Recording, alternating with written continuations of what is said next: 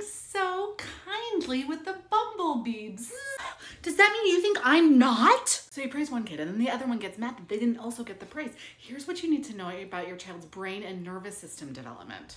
And then I will give you three scripts for how to respond in the moment. Children experience their sibling relationships like pie.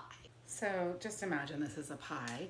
If you take a slice of your attention and give it to the other child, there's less pie for the other. Now, we all know that your heart is big enough and your arms are wide enough for all your kids. But for them, your attention is like pie. If the sibling gets some of it, then there's less left over. That is why these are the three ways I want you to respond in this moment. Number one, we're gonna daylight. Number two, we're gonna praise them as a sibling unit. And number three, we're gonna praise them more with the narration method. Daylight, you're gonna notice what just happened. Wow, you saw or heard that I praised brother and you were thinking, hey, I'm doing something cool. How come she didn't notice me? Ugh. Mama is working hard to make sure that I notice all of you. I see you, offer praise. Number two, praise them as a unit. Some of your praise needs to be them for them as a group. So wow, brothers or sisters are doing X together.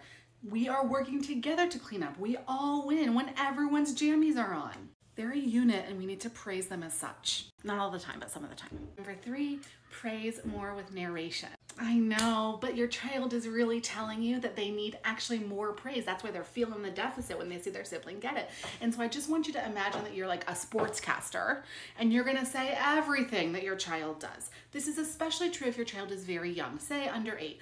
Wow, walking down the hallway with hands on on body. Awesome. Pulling out the toothpaste. So good.